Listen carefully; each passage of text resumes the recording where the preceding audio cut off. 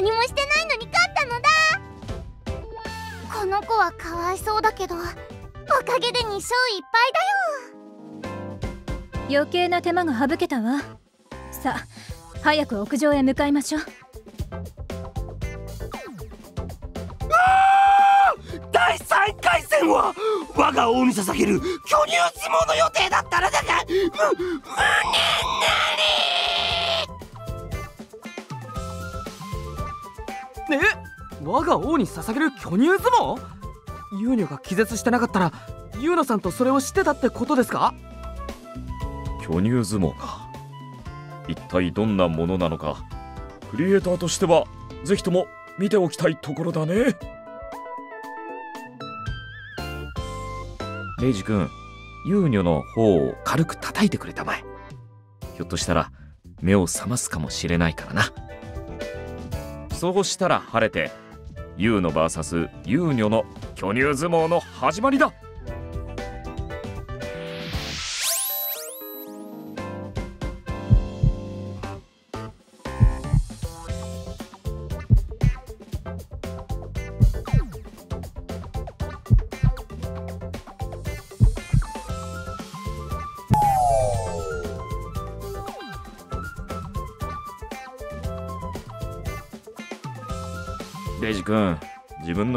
に正直になりたまえ。君も本当は見たいんだろ？うどうせ時間はまだあるんだ。少しくらい寄り道もいいだろ？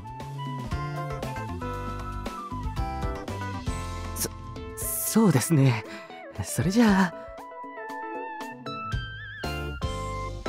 変態！あんたいい加減にしなさい！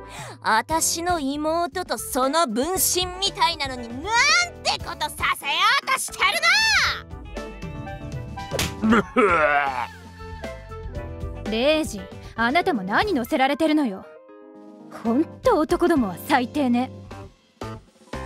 いや今のはそのえー、っとそう先に進みましょうと言おうとしただけですから。もちろんそうに決まってます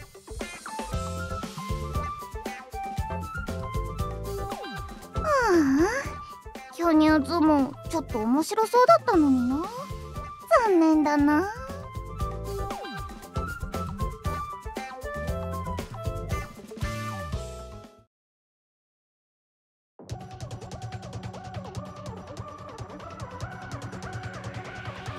ほうほう。我がハーレムシスターズをここまで苦しめるとはなかなか楽しませてくれるではないか。うんこれが我が輩の実力である。真のハーレム王がどちらかお前に思い知らせてやる。浅野の音痴攻撃だけでここまで来られたのに随分な自信じゃないの。まあそれがイルカさんですからね。ではハーレム聖戦の第4回戦最終決戦を開始しようこちらは我がハーレム最強の戦士黒のクイーン夏美だ。は喜んで。夏美よ我の愛と忠誠しかと見せてもらおうか。私の怒りが様への愛は無限あの愚か者どもにたっぷりと思い知らせてあげますわですから私が勝った暁にはイカルガ様の熱くてたくましい。ストップそこまでよ。私と同じ顔でそれ以上喋ったら G ペンダーツをお見舞いするから。いるか早くして。うん。やる気に満ち溢れているようだな。ならば行くがよい。我がイルカハーレム最強最悪の混沌の黒天使夏美よ。我が輩にその愛を捧げるのだ。あなた現実世界に戻ったら生まれてきたことを後悔させてあげるわ。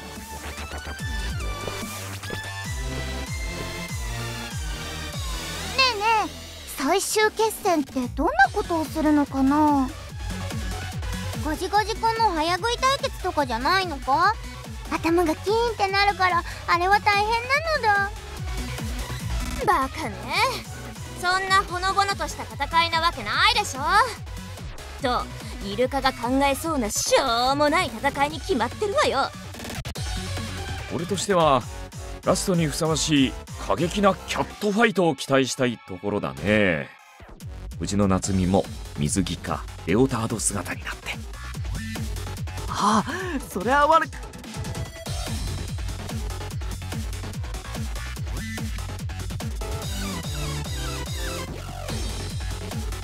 では最終決戦の内容を発表しよう。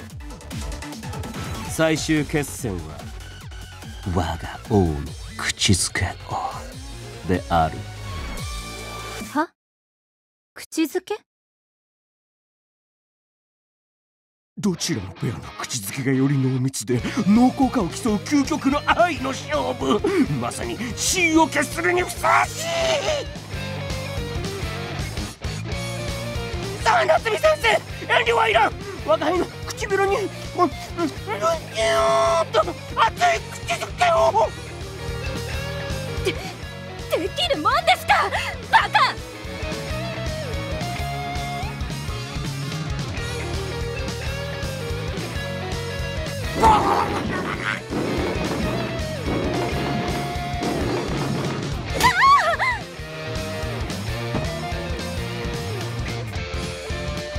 なんてことをするのよ！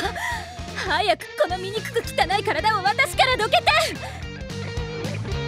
醜く汚いとは失敬な。我が輩風呂では隅々まで洗う花なのだぞ。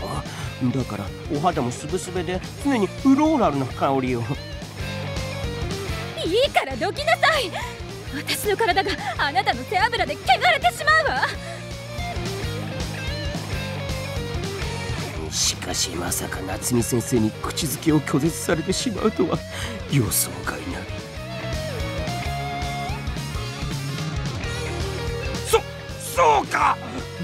生は人前で口づけをすることに抵抗があったのだな。乙女心を理解できなかったとは我が輩一生の不覚である。そんなわけないでしょう。人がいようといまいと私はあなたみたいな肉豚と口づけなんてする気はないの。たとえ人類があなたと私の二人だけになったとしてもあなたと口づけすることは未来永劫何度転生しようとこの宇宙が存在する限り絶対ありえないわ。ああまさかの全否定しかも宇宙規模でのギャラクシーの完全否定あまりスケールがでかすぎるのによ。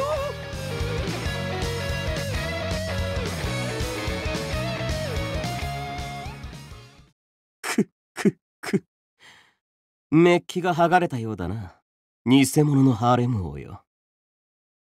そろそろこの茶番にも飽きてきたところだ。全員まとめてここで始末をしてやろ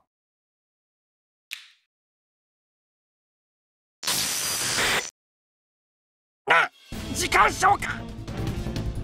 前回は手加減していたが今回は少しばかり本気を出させてもらったぞ。ちょっと体が動かないじゃない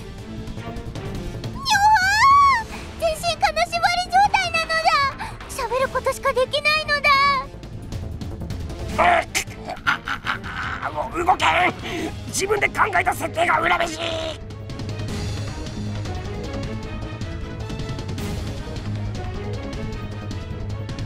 くくく。静止した時の中で朽ち果てるがいい。おああの技を出すのか。イカルが本当にここで終わらせるつもりなのだな！イカルガ様その技では私まで！我への忠誠のため愛の炎に焼かれるのもまた一興ではないか？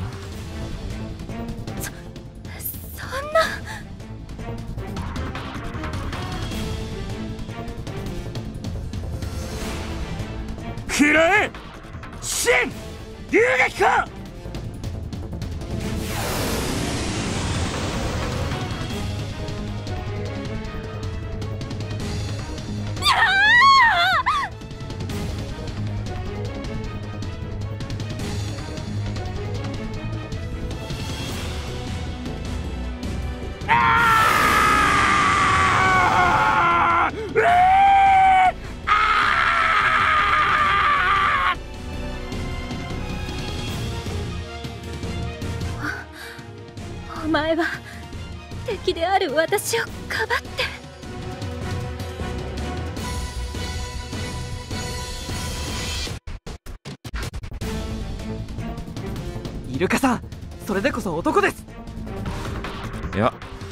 単に夏美の前にイルカが立っていただけだな。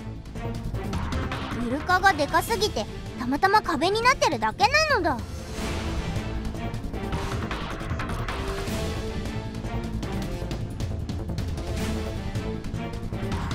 でもこのままではいずれイルカが焼き豚になってしまうわ。その時は私たちの番よ。そうよ。イルカが焼き豚になる前に反撃のチャンスを見つけ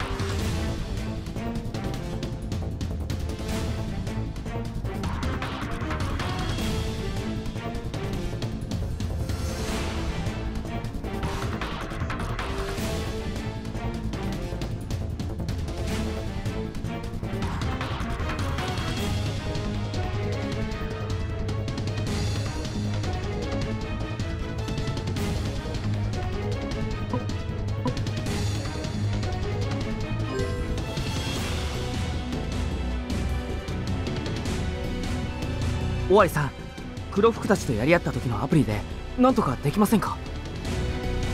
ワールドプラスのことかい？確かにあれならなんとかできるかもしれんが起動のためにはスマホでアプリを起動させる必要がある。体が動かない今そいつを起動させられ。尾張さん？どうしました？タニチかデバッ君のボイスコマンド入力は機能しているんだろうな。当然なのだ。デバッグはワールドプログラムの上で機能しているからボイスコマンドも受け付けるのだ。よし。ではボイスコマンドでデバッ君を起動してくれ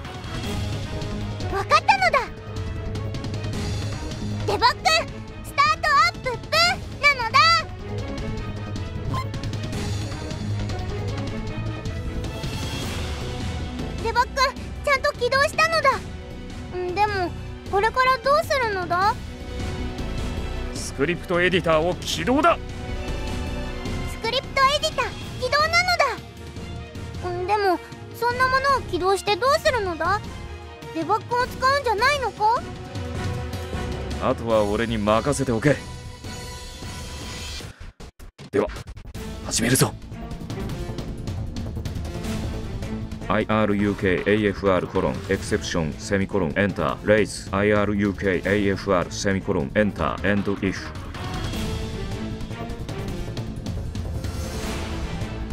尾張さんどうしたんですか？ちょっと終わり追い詰められすぎて錯乱でもしたの？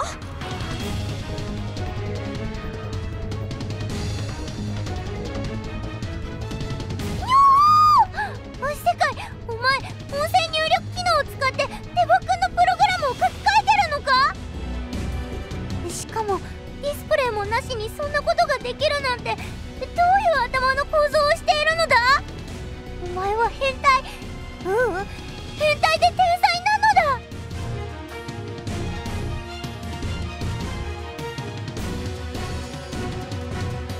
だ。よし。炎属性の攻撃無効スクリプトを組み込んだぞ。これ本当に動くのか？まずは検証が必要なのだ。そんなことをしていたらイルカが本当に焼き豚になってしまうだろアニチカ俺を信じろ。さあ実行だ。わかったのだ。書き換えられたプログラムを実行なのだ。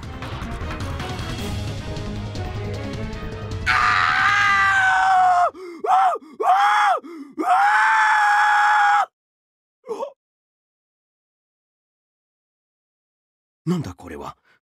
突然熱くなくなったではないかくくくくく。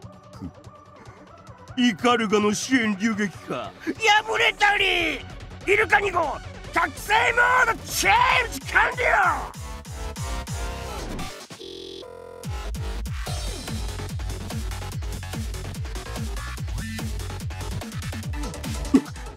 何？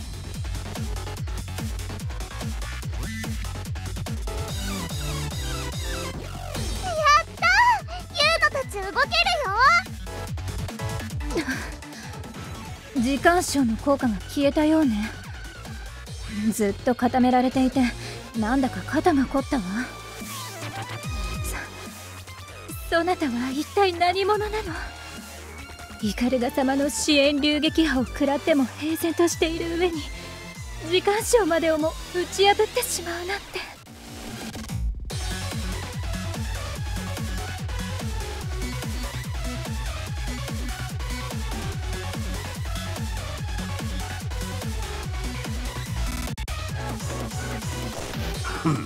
我が輩はイルカ2号通りすがりの企画者だ。ししびれる。そこしびれないで。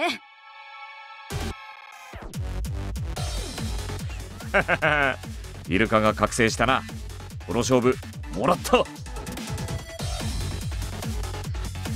なあイカルガさんよ自分の仲間を巻き添えにするような男が真の支配者になんてなれるのかね？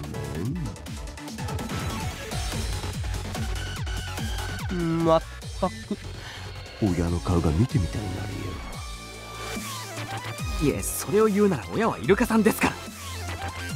そうよ。あんたが考えたキャラクターでしょうが。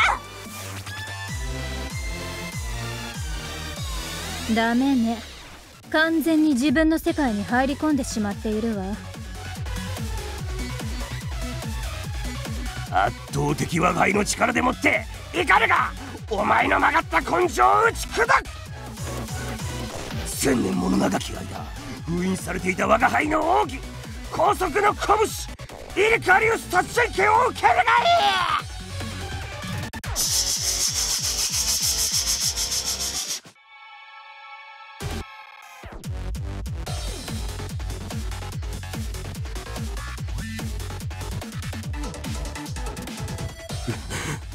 けているのか。そんな拳など恐るるに足らん。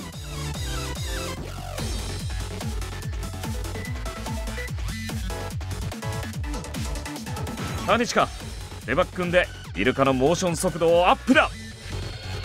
うんとりあえず50倍にアップなのだ。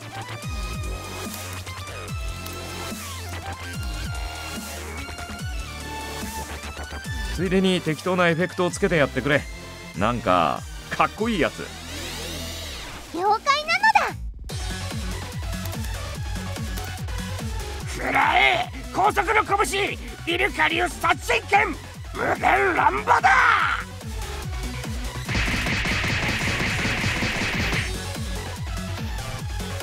あーくかババカだ拳が拳が見えん。痛いだろう今のはお前によって帰らぬ人になった我が輩の弟子レイジーの痛みだ。僕死んだんですか？むしろ今回のイベントで言えば何もされてないんですけど。そしてこれはお前によって滅ぼされた惑星ゾディアックの旅の痛み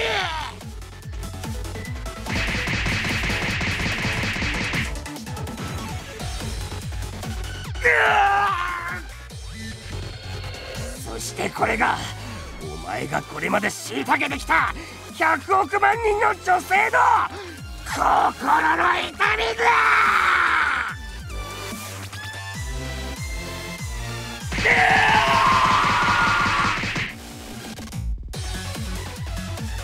さらにさらに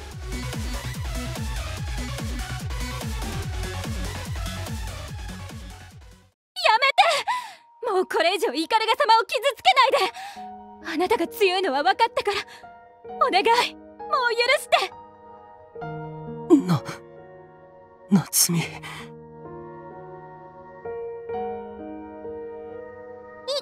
お兄ちゃんをいじめちゃやだ。殴るなら私を殴って。遊女がイカル様の罰を受けるよ。前たち。拙者女子は殴れんでござるよ。いい仲間を持ったな。イカルが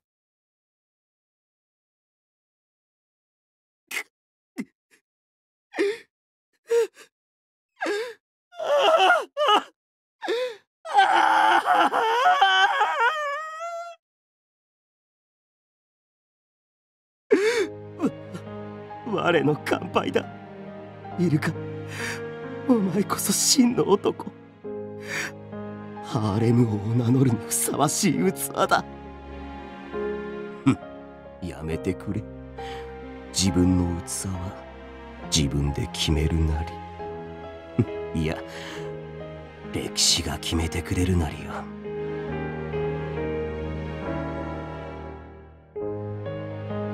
イルカ見事だ。ついつい見とれてしまったよ。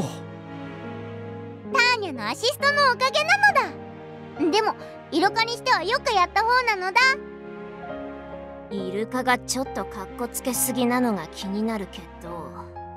まあこれはこれで悪くない終わり方じゃないの。イルカさんグッジョブだよ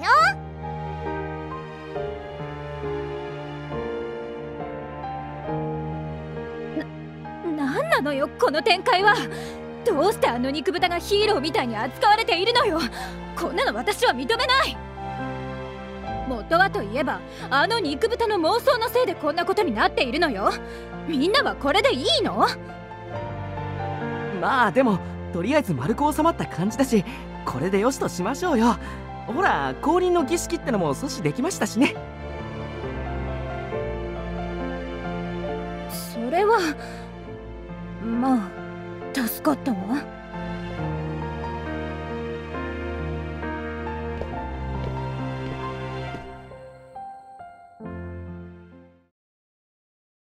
いるか私はあなたのことを。おっとそれ以上は言わなくてもいいなりよ夏美我が輩は所詮通りすがりの企画者。夏美お前さんとは住む世界が違うのだ。そんな。夏美お前さんはお前さんを必要としている男のもとへと帰ることだな。我が輩のことなど愛してはならぬのだ。夏美その男は我が輩の分身のようなもの。夏美がたりと愛しそして支えてやってくれ。そして我が輩のことなど忘れるのだ。夏美。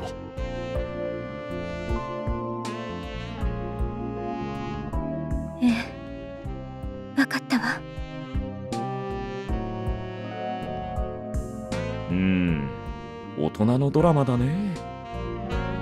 イルカがいつもより男前に見えるわね。ま今だけだろうけど。イルカナイスなのだ。イルカさんナイスガイだよ。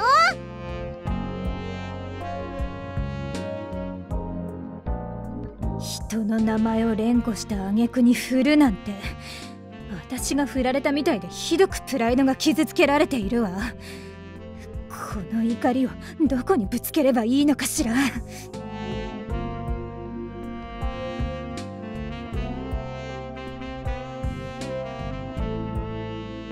いるかよ。我らは猿が我とお前は一心同体。お前の心の中にはいつも我がいる。そのことを忘れないでくれ。よし！さらばだ。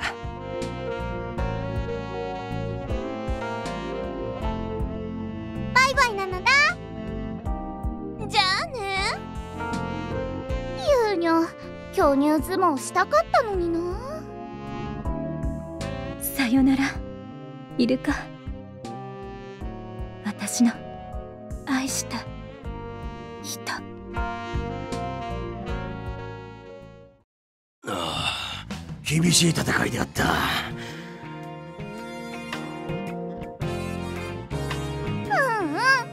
ルカさんがイカルガさんの炎で焼き豚にされそうになった時はどうなっちゃうかと思ったよ。あのタイミングで我が輩が覚醒モードにチェンジできなければこの勝負イルカハーレムの負けであったな。違うのだ。ターニャのデバッカンのおかげなのだ。あら我が輩覚醒モードにチェンジをしたわけではなかったのか世界さんが音声コマンドでプログラムを作ってくれたんだよ。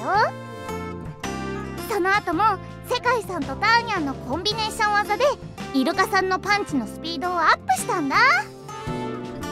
そうそうだったのか。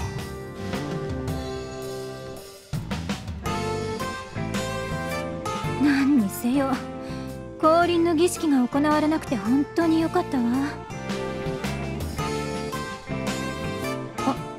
でもちょっと待って。結局一例のことはどうなるのよ。そうよイルカ。あんた確か言ったわよね。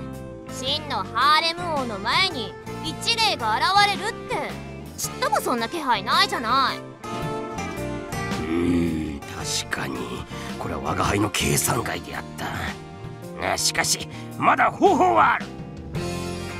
どんな方法なのだ？イカルガを倒し真のハーレムをとなった我が輩と夏美先生が降臨の儀式を行うのだ。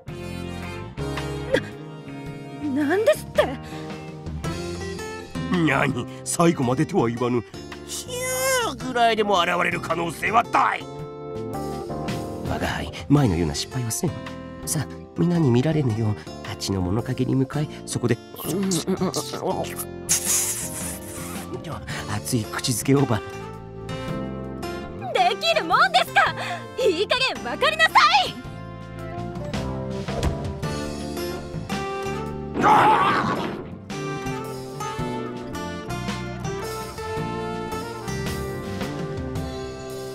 うんちゃんと人目も配慮したというのにまたしても拒絶されてしまったわ。やれやれどうやら俺たちは手がかりを失ってしまったようだね。あんだけ大騒ぎしたってのにまた振り出しに戻っちゃったってこと？まったくやってらんないわね。仕方ありませんね。もう一度レイナさんを探す方法を考えてみましょうか。無駄だよ一ノ瀬レイナはもうここにはいない。正しくは君たちが一ノ瀬レイナと呼んでいた。仮想人格を形成する記憶データはもう存在しないというべきか。一夜にして全て消えてしまったのだよ。久しぶりだね。ジャッジメントセブンの諸君。有利パ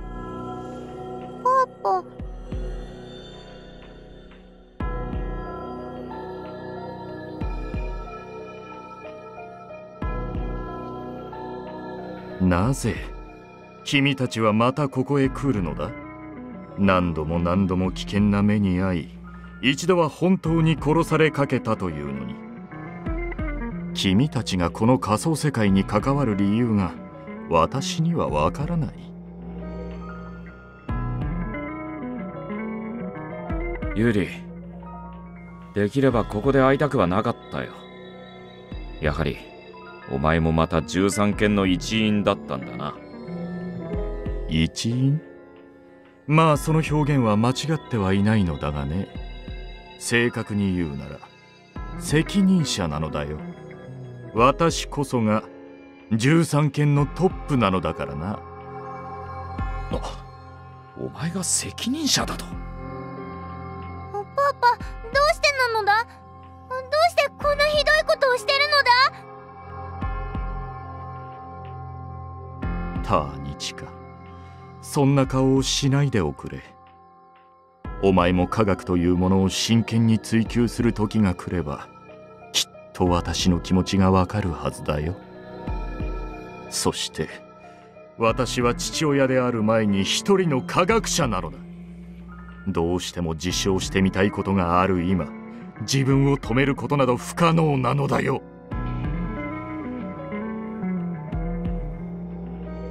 なぜなんだユーリ。俺にはわからない。ターニチカを苦しめてまでお前がこんなことをしている理由がわからないよ。理由？科学者が結果を求めるのに理由が必要かね。いやそんなものは不要だ。人類の繁栄高級の平和貧困や飢餓の根絶そんな大義名分が科学に必要だと。そんなはずはない。あってはならない。ただ純粋に結果を求めたい。それ以外の理由を科学に持ち込んだ時から科学はビジネスとなり科学者は権力者の傀儡となり下がってしまったのだ。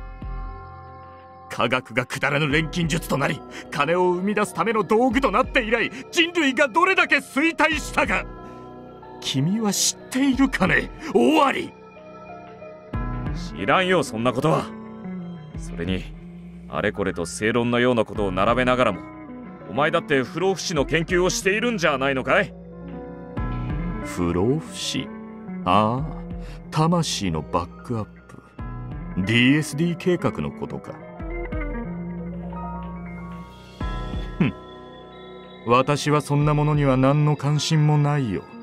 あくまで研究資金を得るために協力しているに過ぎない。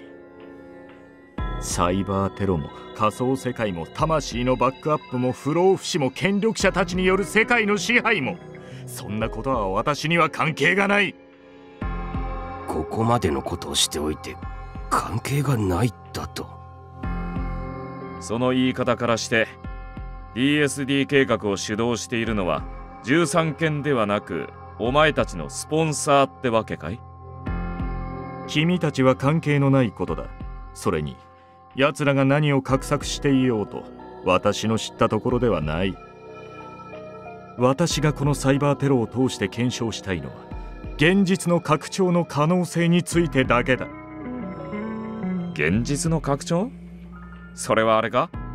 仮想世界から送る信号で現実世界の人間に幻を見せることか。ああ終わり。知っていたのか。なら話が早くて助かるよ。人はねその目で見たものしか信じようとしないんだよ。いや違うか。多くの人が真だと認識したものしか信じないと言うべきか。正しい理論も正しい定理も正しい原理も全ては事象として認識されなければ世間にとっては真実とは認識されない。私はこれまでの科学者人生でそのことを嫌というほど思い知らされてきたのだよ。心血を注ぎどんなに素晴らしい理論定理原理を導き出そうともその現象を証明できなければ真実としては認められないという不条理な世界。当たり前だ。それが科学というものだろ。過程を証明できなければそれは机上の空論に過ぎん。ふん。それが科学というものか。ではこれはどうだ？たとえ間違った理論であったとしてもそれが正しい現象だと多くの人が認識してしまえばそれは正論となってしまう。これもまた科学だろう？明らかに正しい私の理論が排除され間違った理論が正論として世にはびこる。多くの人間が死んだといえばそれが誠になる。この世界は結局は数による暴力が支配する見せかけだけの嘘にまみれた世界なのだ。だとしたら現実の世界とは偽物で構築された仮想の世界と何ら変わらないではないか。それは極論だ。確かに一部ではそういうこともあるだろうが。だがそれが全てではない。それにそんなまやかしの真実はいつか淘汰され最後には必ず本当の真実だけが残る。それが科学というものだ。そんなことは分かっているよ。だがね私はねそれでも地球は回っていると言いながら死んでいくほど人間ができていないのだよ。だから私はこう考えたのだ。だったらその偽物を本物として人々に観測させてやろうと。現実を拡張しありもしない脅威に怯えありもしない滅びを現実として認識させるのだ。それが今回のサイバーテロの目的なのか。その通りだ。これから現実世界で起こることは決して現実ではないアカシックによって演算された仮想の光景を見せているに過ぎないのだからな。仮想の光景を見せるって一体どうやってそんなことを？何？そんなに不思議に思うことはあるまい。君たちがいつも現実だと思っている世界だって所詮は光によって網膜に投影された情報に過ぎないのだよ。そしてアカシックがしていることも同じだ仮想の光景を光に限りなく近い電波であるサブミリ波に変え人の視覚から情報として脳へと伝達しているのだからね。つまり現実に存在するのかしないのかの違いだけで脳にとってはどちらも同じ見るという現象なのだよ。実に面白いと思わないか？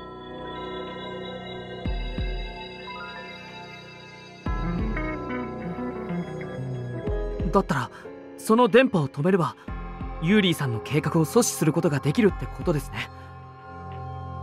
無駄だよ。君たちには止めることはできない。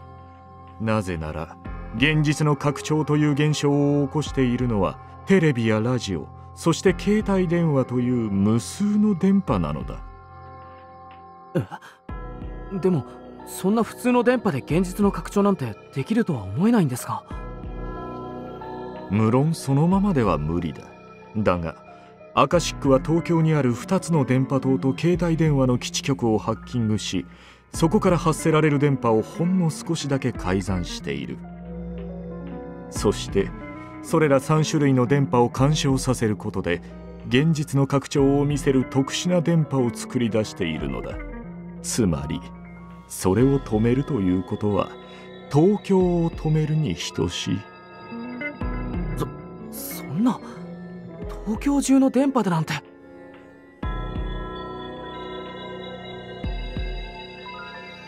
もうすぐ世界が始まる。たとえ現実でなくとも現象として認識されればそれは事実となる。これはその矛盾を証明するための私の科学者としての最後の挑戦なんだ!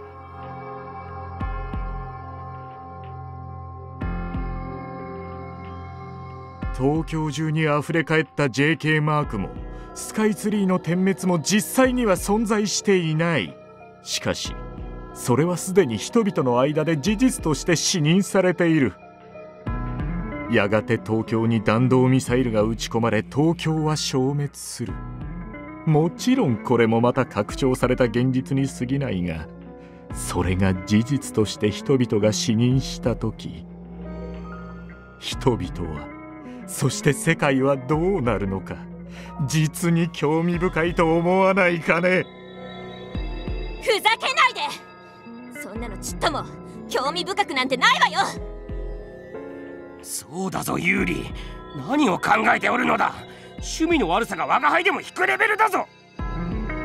ユーリ君が優れた科学者でありながら数々の辛酸をなめてきたことは知っている。しかしさすがにこれはいかんよ。やりすぎだ。今からでも遅くない。全部終わりにしようじゃないか。パパお願いなのだ。こんなことしても誰も幸せにならないのだ。ゲームなんて架空のものを作っている君たちなら理解してくれると思ったのだけどな。さすがに無理な話か私はこの実験を中断するつもりはない。そして誰にも邪魔はさせない。たとえ君たちにもな。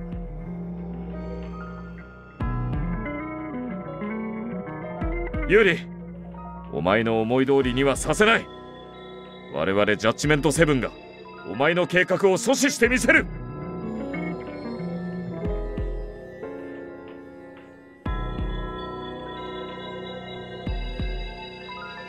終わりよ。私の計画を阻止する前に自分たちの身を案じた方がいいんじゃないか？どういうことだ？現在現実世界のカフェエグジットに仕掛けられていた爆弾が起動しているのだよ。は？爆弾ってどういうことよ？私も知らんよ。おそらく出口が機密保持のために独自で仕掛けたセキュリティの一つだろう。カフェエグジットからアカシックへ不正にアクセスをした際に起爆装置が作動するように設定されていたようだ。まあ13件の工作員としては正しい処置だと言いたいが何でも力で解決するなとあれほど言っておいたのに。仕方のない男だな。このままでは現実世界であと25分もしないうちにカフェエグジットは跡形もなく吹き飛ぶだろう。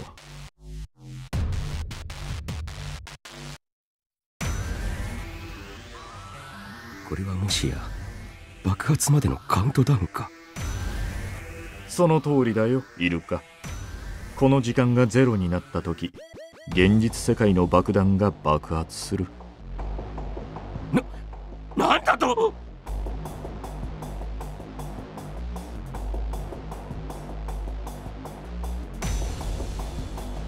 世界よこんなことをしている場合ではないぞ。早く現実に戻らねば。それが自動ログアウトを設定した時間まであと5時間以上あるんだ今の俺たちには自力で現実に戻る方法がないんだよ。そんなそれじゃあ私たちはこのまま爆弾で。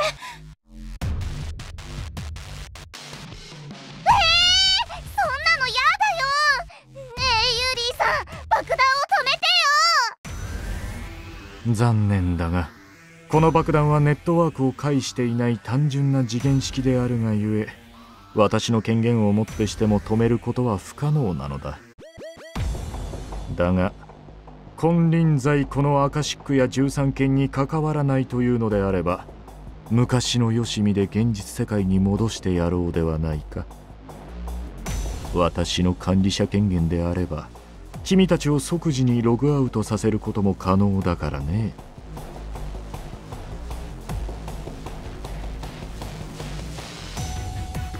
そうできるのならそうしてもらうところだけどね。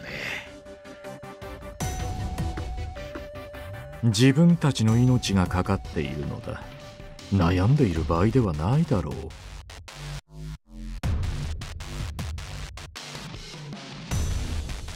これは。無理だよユーリ。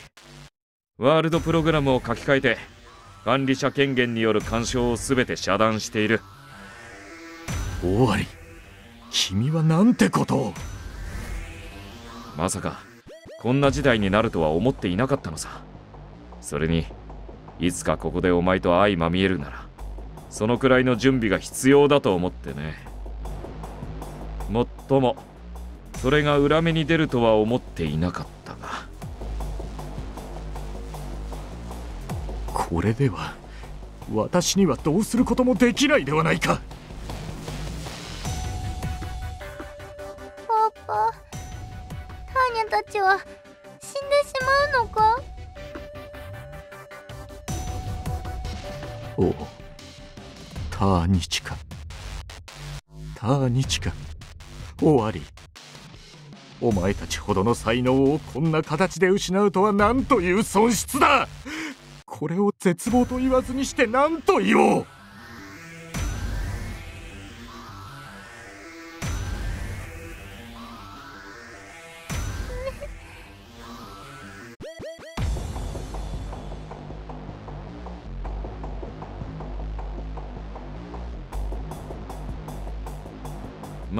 お前の手は借りんよユーリ。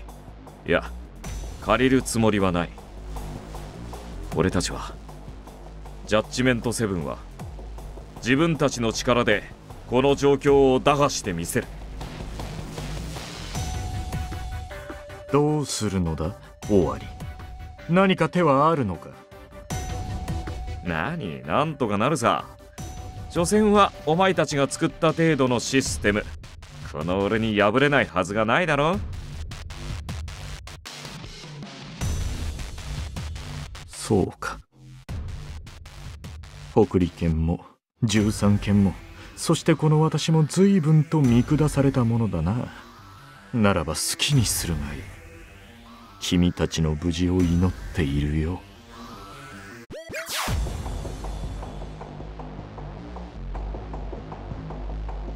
それでどうするのだ世界を。有利にあのようなことを言ったということはすでに脱出の算段はついておるのだろう。ん。それがまったくでさ。どうしよちょっと嘘でしょ？どうするのよ？あと24分後には私たち爆発で死ぬのよ！うまあ落ち着けって現実世界で残り24分ということはこの仮想世界でならまだ9時間36分も猶予があるということになるんだからさ。侵入者を精神的に追い詰めるためか知らんが不正アクセスと同時に起爆する仕掛けになっていなくて助かったよ。あそっか。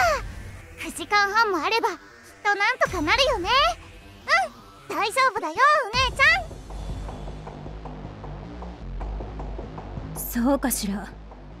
前に脱出プログラムを作成するのに3日もかかったのよ。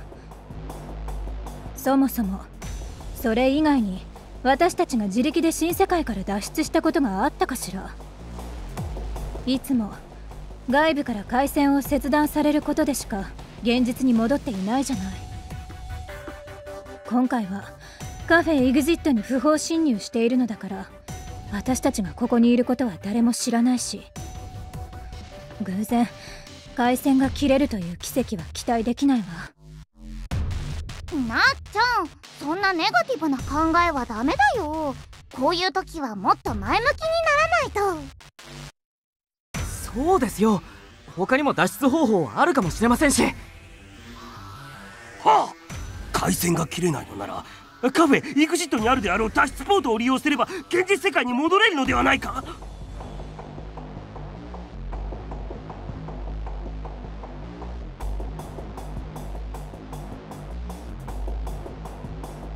そうよ。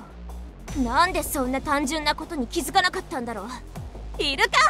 あんた初めていいこと言ったわよ。確かに。それは盲点だったわ。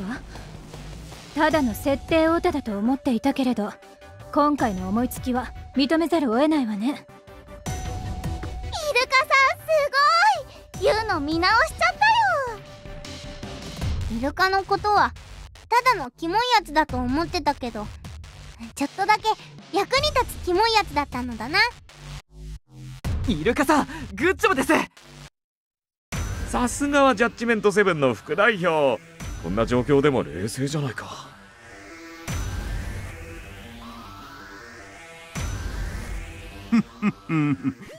それほどでもうんあるなりよ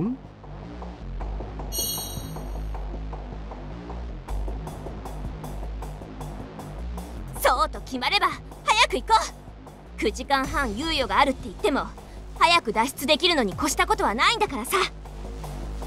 うん浅野の言う通りだ。今現在も我々の命は爆弾によって脅かされているのだからな。さあ皆の者この世界を脱出するためカフェ EXIT に参ろうぞ。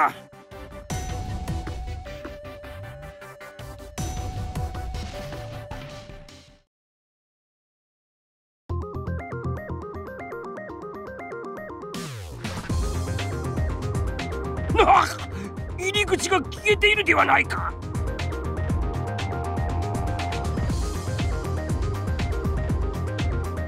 おかしいのだ。ターニャたちが新世界に来た時はこの扉は開けっぱなしだったはずなのだ。一体何が起こっているの？おそらく出口の仕掛けたセキュリティの仕業だろうね。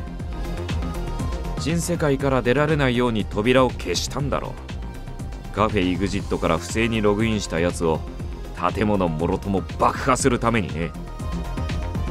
じゃあ中には入れないってこと？それはまだわからないよ。カフェ EXIT の内部システムをハッキングできれば扉のロックを解除できるかもしれない。タニシカ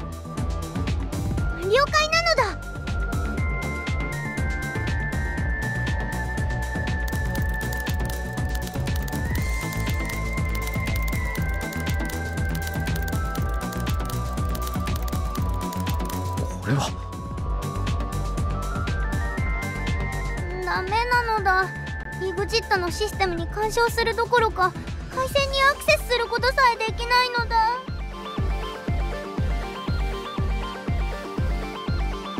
そっか。だったらここから脱出するのは難しそうだね。世界遺産やターニャンでもハッキングできないんじゃ。そうですね。別の方法を考えた方がいいかもしれません。だったら地下街に行ってみるのはどう？ほら前もあそこから脱出したじゃない。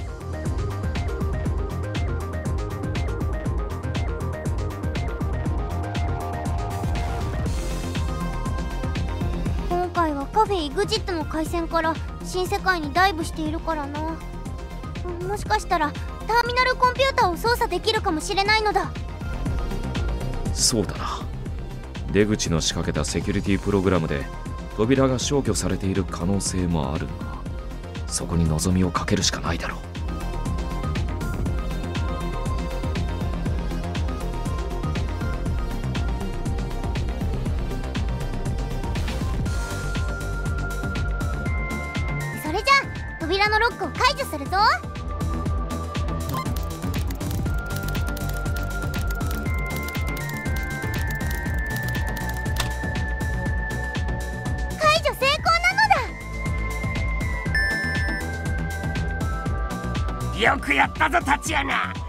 新世界から脱出できるかもしれん。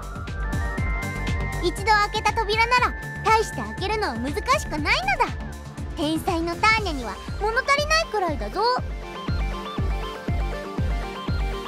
あとはターミナルコンピューターを操作して現実世界へ戻るだけなのだ。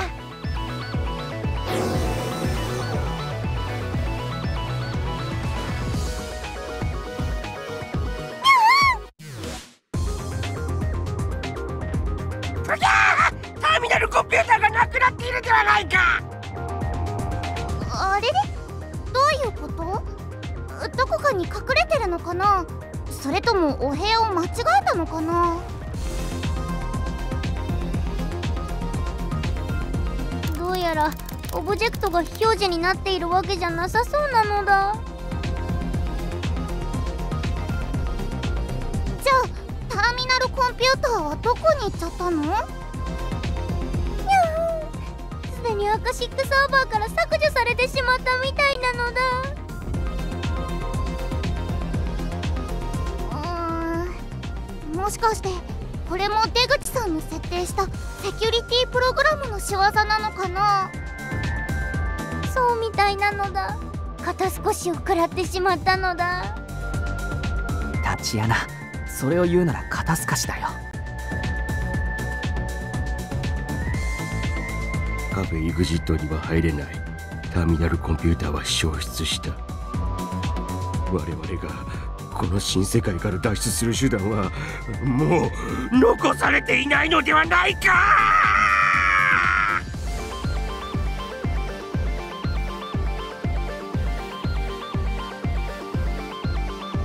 いつまでもここにいたって仕方がない。一旦基地に戻って脱出する方法を検討しよう。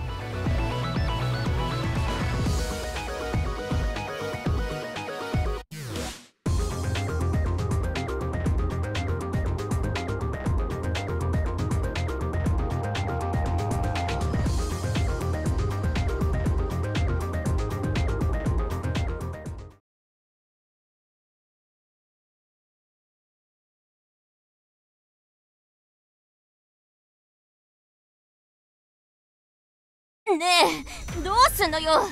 爆発まであと2時間半しかないわよ。現実世界の時間だと6分15秒なのだ。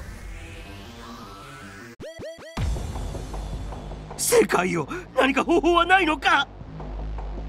ああ唯一脱出の可能性があるとすれば仮想世界にあるカフェイグジットだったんだがねそれも出口によって封じられてしまったことでもう打つ手がなくなってしまった。どうしたらいいんだろう？ユーノたちもうここから出られないのかな？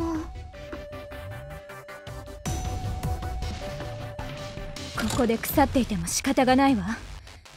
もう一度カフェイグジットに行ってみましょう。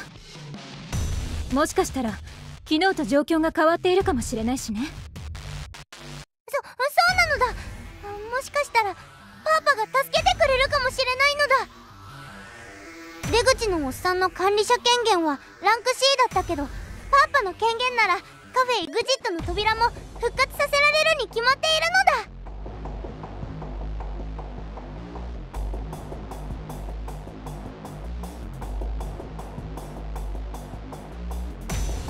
そうね。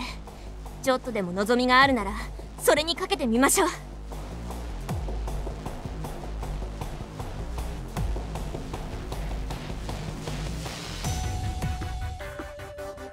扉は復活していないようだな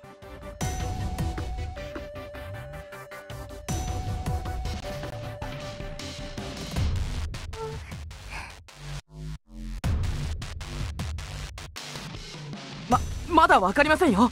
もしかしたらカフェ内部のシステムにアクセスできるようになってるかもしれませんし。そ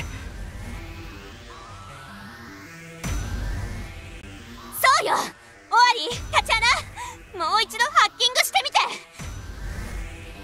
あ何日か。やってみよう。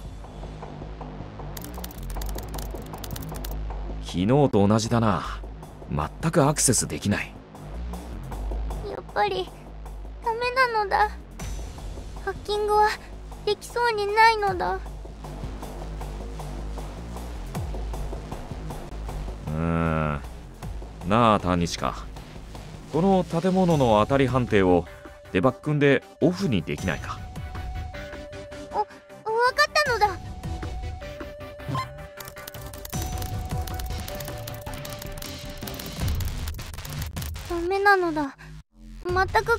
することができないのだ。うーん。どうやらシステム的な干渉を一切遮断しているということらしいね。今のカフェイグジットは。こうなったら物理的にこの壁を破壊するしかないわね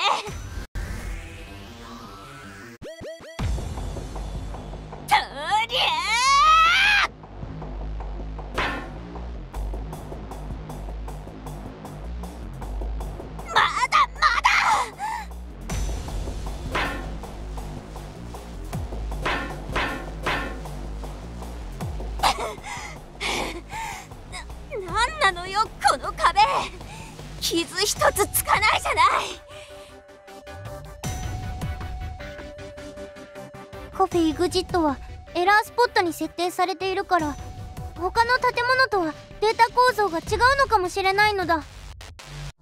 おそらく非破壊オブジェクトとして設定されているのだ。何よそれ。じゃあブルドーザーを持ってきても隕石が落ちたとしてもこの建物は壊れないってこと？そういうことになるのだでは我が輩が千年の時を経て魔界より授かりし呪文にてこの開かずの扉を開けてみせようぞ!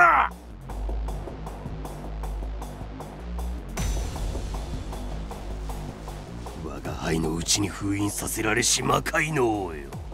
今こそその力を解き放つたまえ開け!ゴム!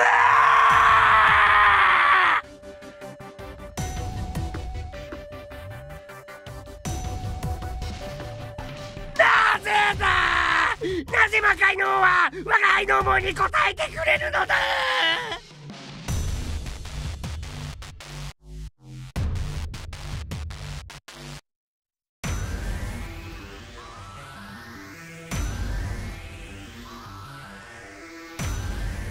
誰か誰かいませんか？ユーノたち閉じ込め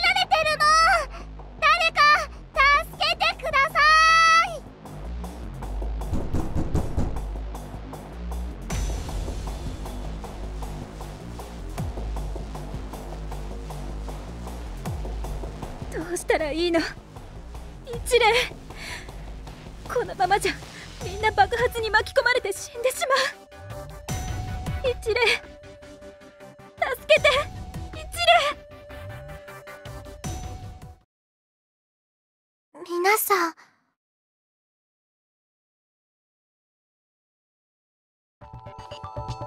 嘘。一礼。一礼なの？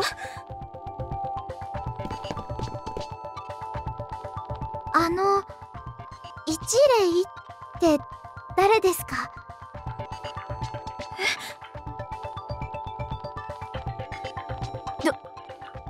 どういうこと？あんた一例じゃないの？もし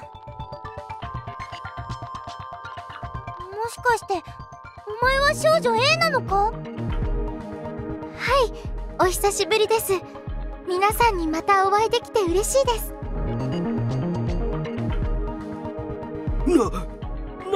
再び少女 A が現れたのだ。それは簡単なことなのだ。レーナの仮想人格は人格データと記憶データによって構成されていたのだ。でもレーナの記憶データは新世界でユーノを守るために自分のデータの上にユーノのデータを上書きして消えてしまったのだ。だから人格データだけで存在できる少女 A が出てきたのだろうな。おうそういえば少女 A は一例の人格データでできているのだったな。まあなぜ少女 A がいきなり出てきたのかは謎だけどな。一礼本当に消えてしまったのね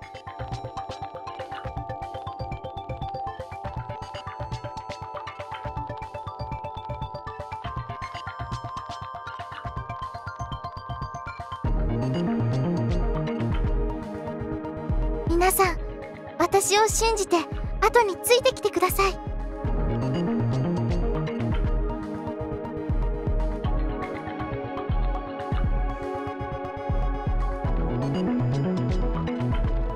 ななんと少女 A は壁抜け少女だったのか。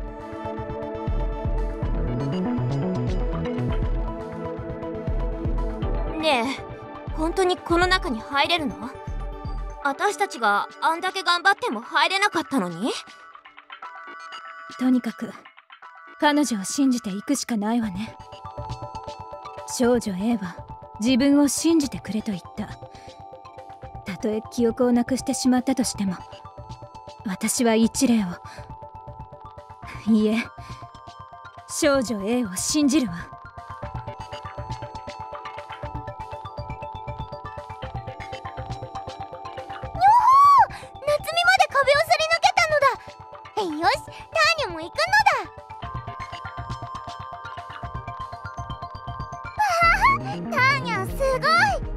れじゃユーノも行っちゃいます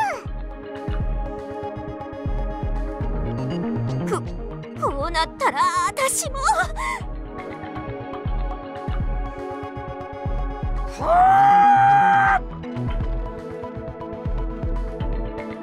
こりゃどうなってるのかね。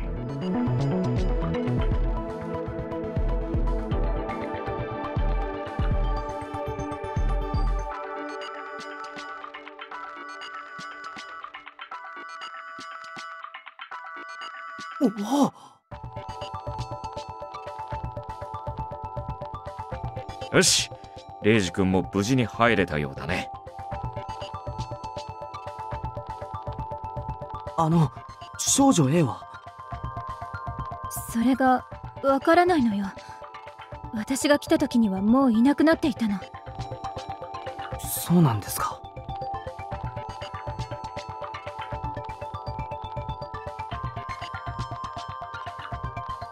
そういえば A ちゃんはなんで壁をすり抜けられたのかな？もしかして幽霊さんだったとか？あの子は一例の人格データでしょ？なんかすごい権限でも持ってるんじゃない？だが一例の管理者権限はランク E に降格されてしまったのだろう？それは少女 A だとしても同じだと思うのだが？それなのに世界やタチアナでさえ歯が立たなかったカフェ EXIT の壁をこうもたやすく突破できるものなのだろうか。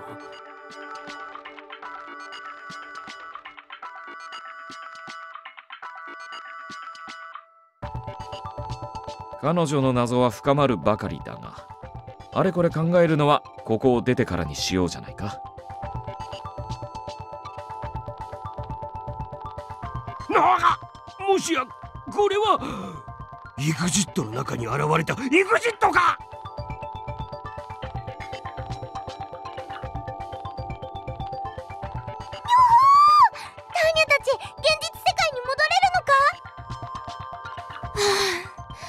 危なかった。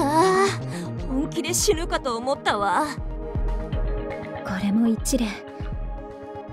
少女 A のおかげね。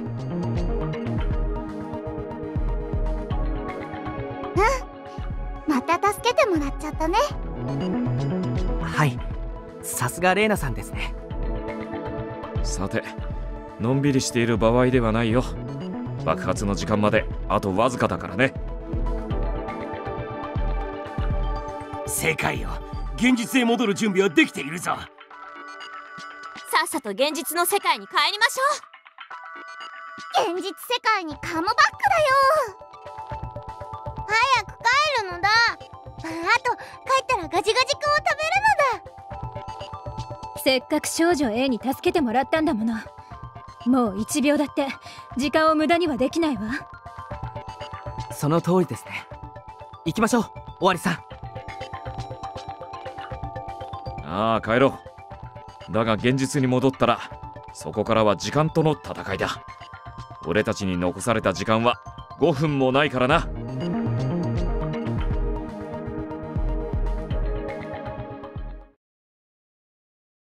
帰ってきたのか。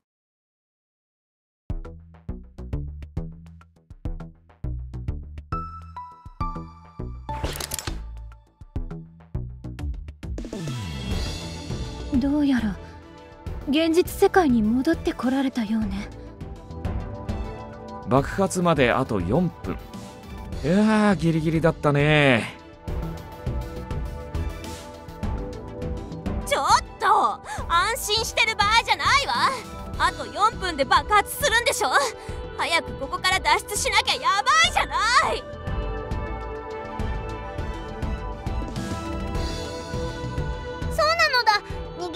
ドカンはごめんなのだ。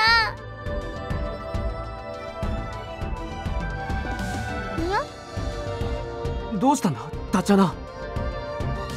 おかしいのだ。扉が開かないのだ。はあ？扉も自分で開けられないの？まったくどんだけお子様なのよ。どれ我が輩が開けてみせようぞ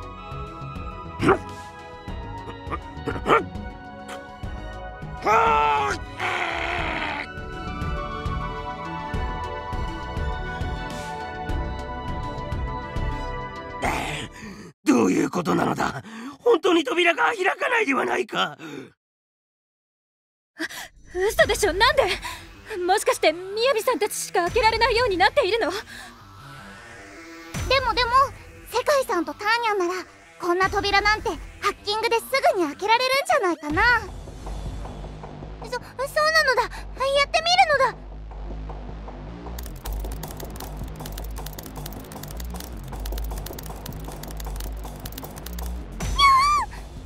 IT システムへアクセスすることができないのだ。これじゃハッキングができないのだ。ええー、アクセスできないってどうしてよ？おそらくあれのせいだろうね。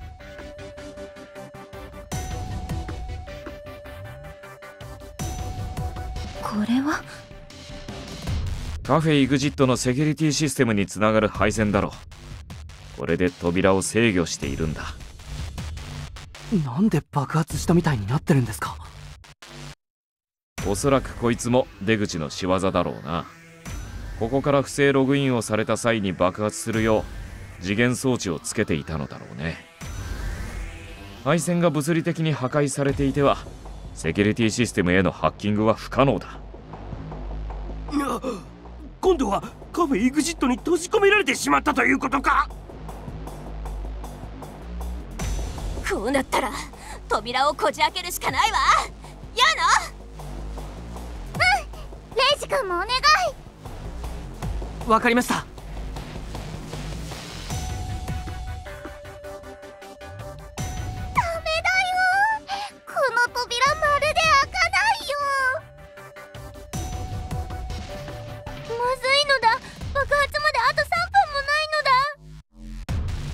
他にセキュリティシステムにアクセスする方法はないのか？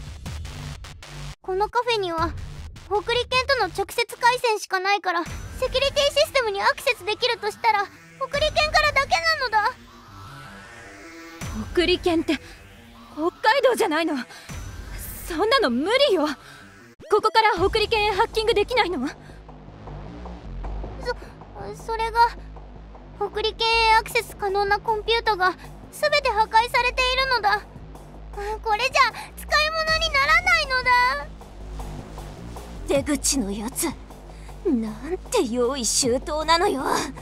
それじゃあもう手も足も出ないじゃない。それでは我々はこのまま爆発に巻き込まれて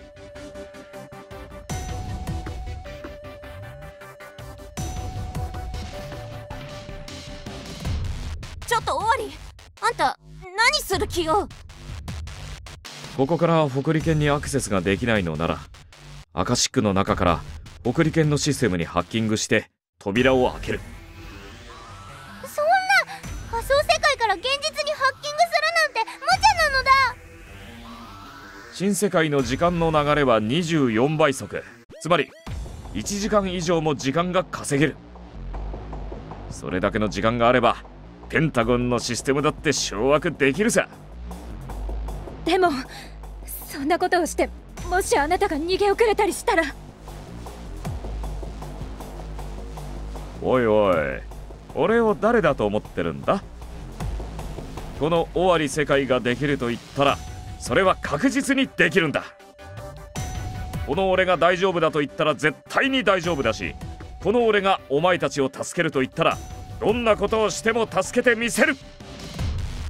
お前たちは何も心配せずその扉が開くのを待っていろ。そして扉が開いたらすぐにこの建物から離れるんだ。終わり。あんたは？俺もログアウトしたらすぐに後を追いかける。お前たちは先に行け。これは代表命令じゃない。俺からの頼みだ。いいな？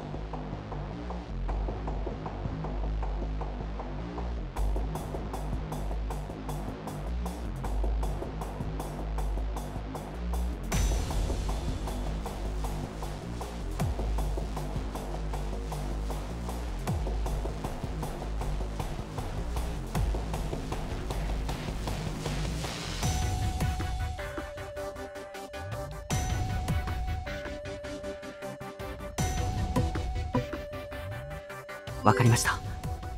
尾張さんよろしくお願いします。ああ任せておけ。だからみんなのことは頼むよレイジ君。世界に任せておけば何の心配はない。我が輩たちは信じて待っていよそうですね。尾張さん僕たち待ってますから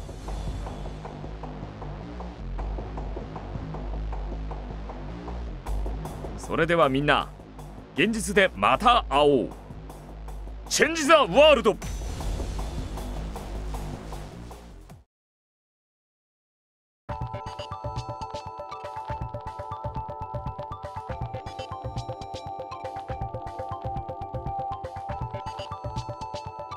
界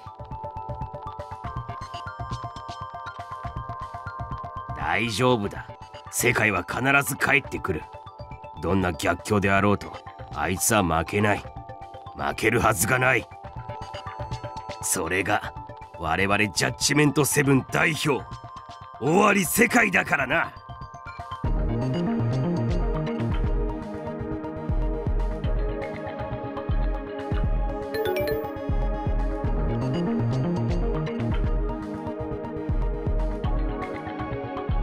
皆さん尾張さんからメールが来ました。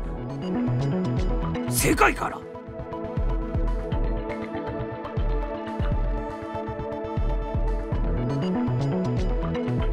いうことなのだ？なんで世界のゴーグルを外しちゃダメなのだ？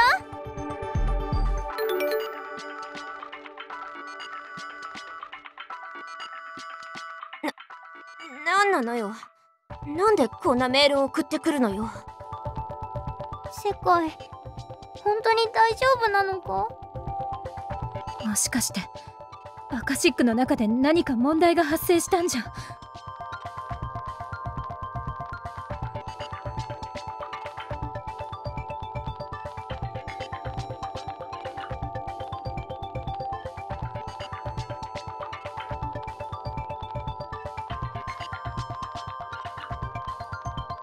今は世界を信じるしかない。仮想世界で何があったのかは分からぬがあいつは現実世界でまた会おうと言ったからな。必ず生きて戻ってくるはずだ。うんそうだよね。世界さんならきっと大丈夫だよね。ユーノたちが脱出した後にすぐこっちに戻ってくるんだよ。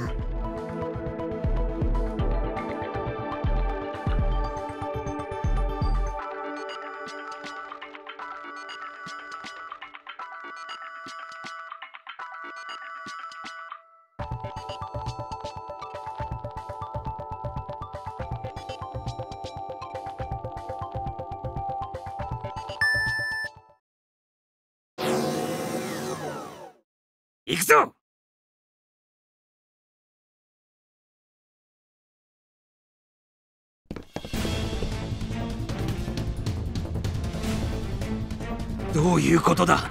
世界がまだ出てこないぞ。イルカさん危険です。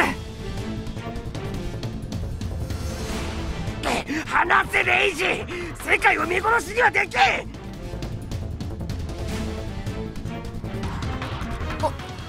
尾張なら大丈夫だよね。あいつ今出てくるところよね。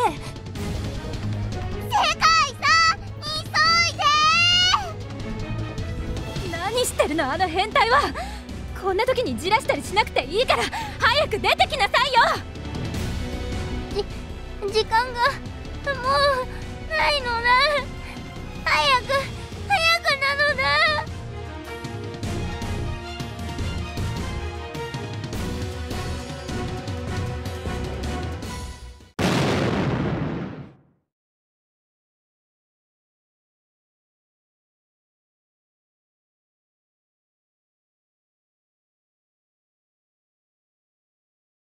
嘘でしょ？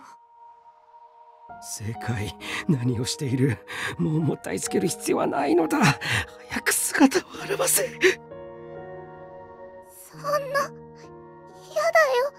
世界さん。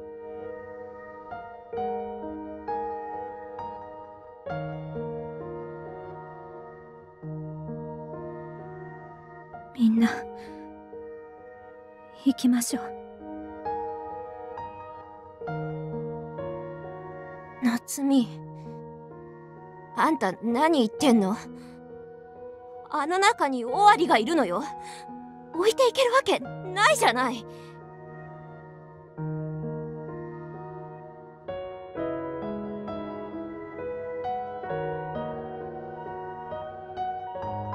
行きましょう。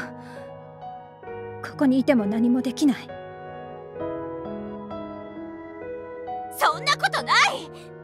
尾張を助けに行かなきゃでしょ？無理よ無理なのよ。これを見てよ。これが爆発で飛んできたの。嘘よ。そんなことない。そんなことない。そんなことない。そうそうである。あの世界があんな爆発などで死ぬはずがないではないか。そこにいるのは分かっておるのだ。早く姿を。いるか。浅野しっかりして。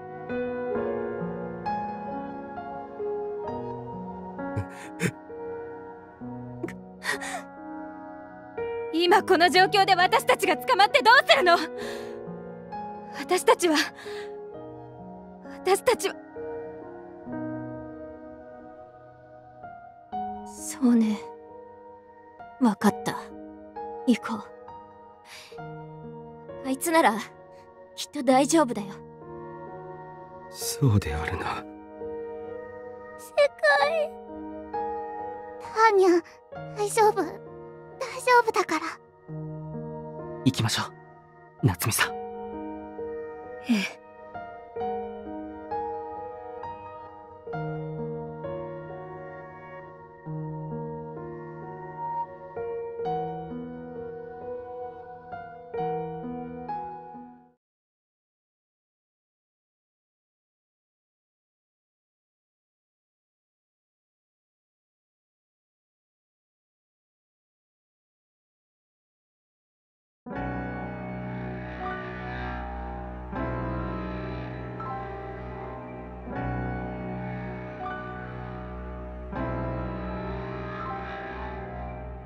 それでは次のニュースです。東京都台東区浅草にある冠城ビルジングで爆発事故がありました。現在警視庁が現場検証を行っておりますが爆発による現場の損傷が激しく捜査は難航している模様です。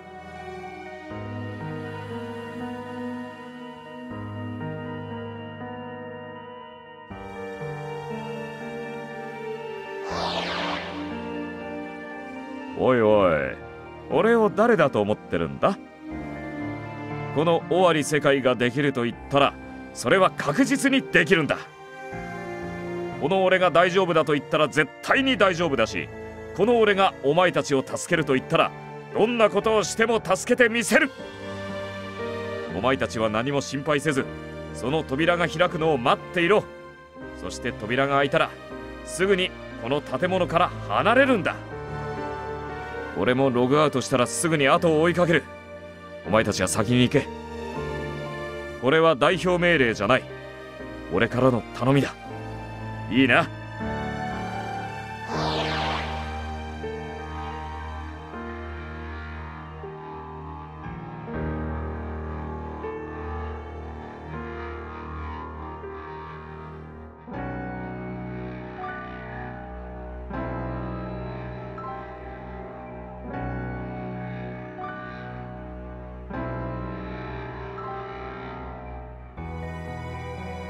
ただいまニュース速報が入りました。現在都内の高層ビル数棟が不可解な転倒をしているとのことです。今スタジオの外と中継がつながったようです。現場の山田さん？はい現場の山田です。あちらをご覧いただけますでしょうか？あのスタジオからは何もおかしな点は確認できませんが現場からは何か見えるのでしょうか？はい。スタジオ近くの高層ビルの照明がついたり消えたりと点滅を繰り返しているのが確認できます。こちらからはアルファベットの J と K の形に点灯しているように見えます。この現象は現在都内各地の高層ビルで目撃されている模様です。詳しい原因は分かっていませんが新しい情報が入り次第こちらからお伝えします。高層ビル照明着火事件。